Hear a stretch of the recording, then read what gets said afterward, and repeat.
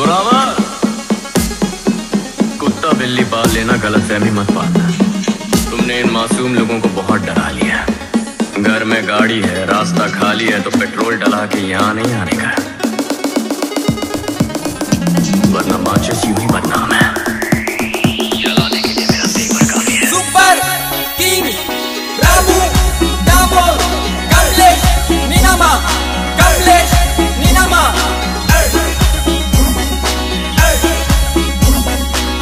तेरा क्या होगा रे कालिया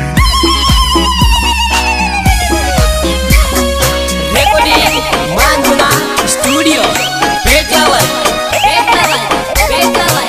हाँ तो भाई और बहनों सिर्फ़ सीटी से काम नहीं बनेगा। डीजे का जोरदार म्यूज़िक होगा। फिर मैं स्लो मोशन में कोड झटक कर स्टाइल में एग्जिट लूँगा।